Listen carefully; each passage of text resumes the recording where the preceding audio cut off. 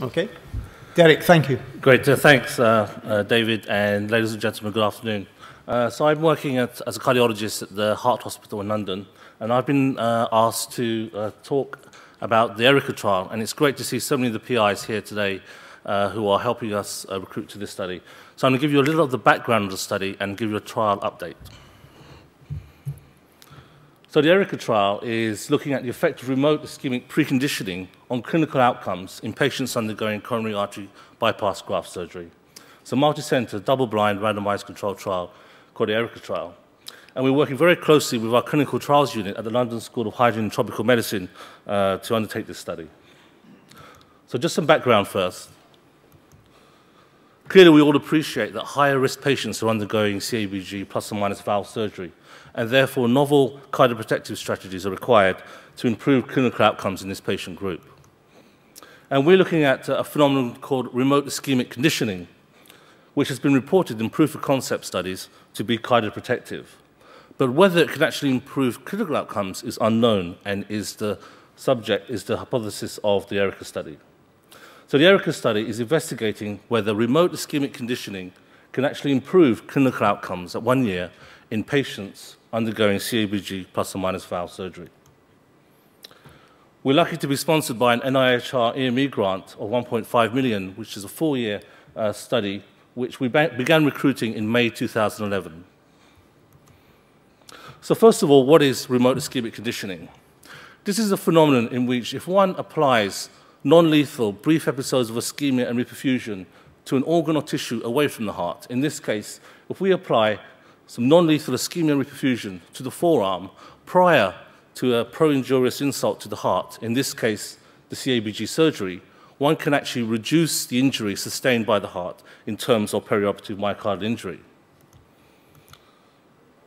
The mechanism through which this works is unknown, but it is believed that a humoral factor produced in the arm in response to the ischemia reperfusion injury is carried to the heart where it activates pro-survival protective pathways that protect it against the CABG surgery. This can also be undertaken by uh, subjecting the kidney to short episodes of ischemia reperfusion to protect the heart too. It is believed that a humoral factor is involved, but it also has been discovered that a neural pathway is also critical for this phenomenon. So in reality, we don't know the actual mechanism for this works, except that by applying ischemia reperfusion to an organ or tissue away from the heart, one is able to protect it. This is the first, uh, one of the first proof of concept studies which we published uh, in the Lancet in 2007, which we undertook at the Heart Hospital in a small proof of concept study in which 57 patients undergoing CABG plus or minus valve surgery were randomized to receive either remote ischemic conditioning or control. And in this particular study, a blood pressure cuff was placed on the arm after the patient had been anesthetized and inflated to 200 milliliters, of mercury and left inflated for five minutes, and then the cuff was deflated for five minutes, and this cycle was repeated three times. In the control group, an uninflated cuff was left on the arm for 30 minutes. In this particular study, the primary endpoint was perioperative myocardial injury as measured by troponin T release over 72 hours.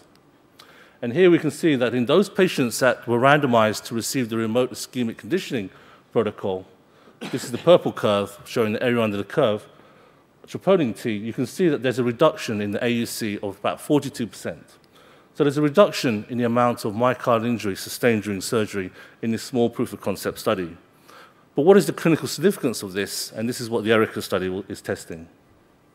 So the ERICCA trial is now a 30-center study recruiting 1,610 patients.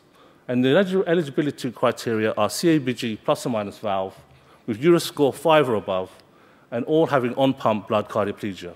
So we've deliberately chosen the higher risk group because we believe these are the patients which are most likely to benefit from an additional cardioprotective strategy. The patients were randomized to receive RIC or a sham RIC or four five-minute cuff inflations after the patients had been anesthetized and prior to surgery taking place. The primary outcome at one year is a combined primary endpoint of death, myocardial infarction, revascularization, and stroke. And then we were looking at a number of secondary outcomes, including perioperative myocardial injury, renal injury, ITU, hospital stay, inotrope score, some uh, quality of life and six-minute walk tests, and we'll also be doing an echo sub-study. So where are we so far?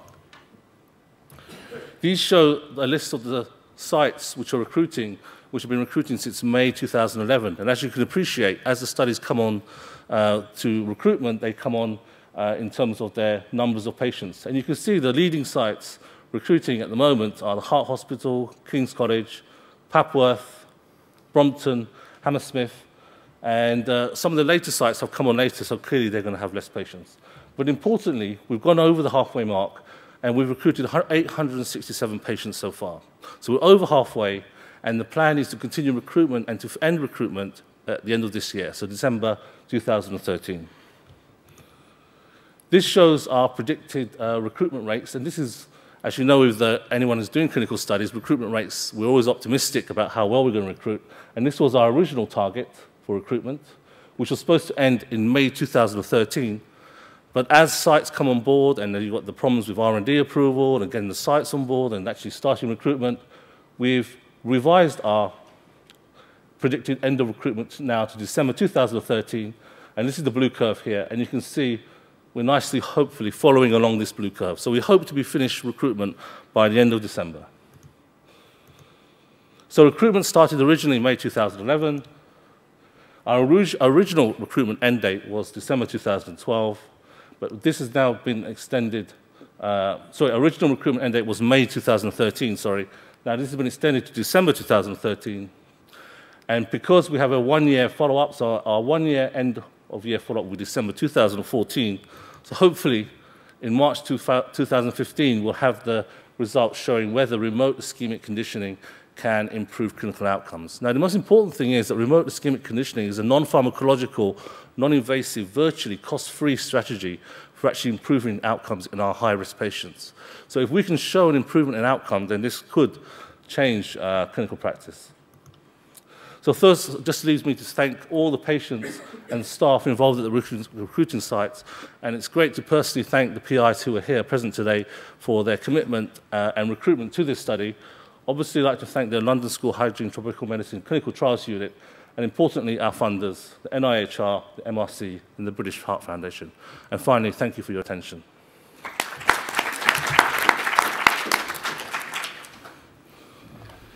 Any questions?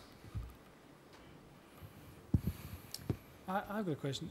There, there are a few randomized trials similar to the trial that you have done, which have shown no benefit.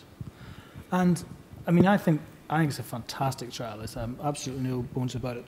But how do you interpret these trials as as they are published whilst you're conducting ERICCA? What how do you interpret them? So are you referring to trials with remote ischemic conditioning yeah. or other interventions? No, remote ischemic yeah, conditioning. Yeah. So since we published our study in the Lancet, there's been uh, several studies, the majority of which show a positive effect, but there are some which show a negative effect.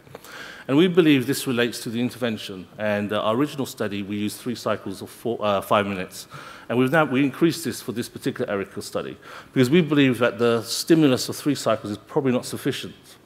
And plus you have the uh, uh, the, the, question of concomitant medication. So as you all know, some uh, volatile anesthetics such as isoflurane have been shown to be cardioprotective in CABG settings. So it's important that our stimulus that we give can overcome uh, concomitant medication. There's also medications such as GTN, which is given during surgery, morphine, and we've been very careful to not uh, dictate to the anaesthetists or the cardiac surgeons uh, as to the medication they use. So we're hoping that a stronger stimulus in a very large powered study uh, should be able to tell us either way whether remote ischemic conditioning, remote ischemic conditioning works or not. Can I have one more question? Do you think nitric oxide or hydrogen sulfide are involved in the immediate effects of ischemic preconditioning? Yes, as you know, hydrogen sulfide and nitric oxide are both mediators of protection, but I don't think they're the actual signal that is carried from the arm to the, uh, to the heart. I think they could actually mediate the, the, the generation of a signal in the arm, mm. or they can mediate the signal at the heart, but I don't think they're stable enough to actually carry the signal from the arm to the heart. For that, I think we need a peptide. Okay, okay. Thank you. Any other questions? Okay, thank you.